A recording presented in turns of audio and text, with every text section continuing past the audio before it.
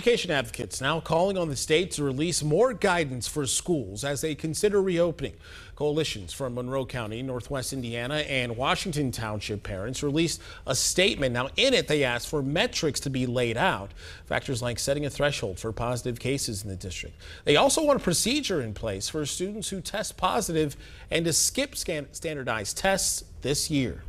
That that's just an extra burden that no one needs right now. And we could use that money in so much better ways. We could use it for actually like testing and contact tracing.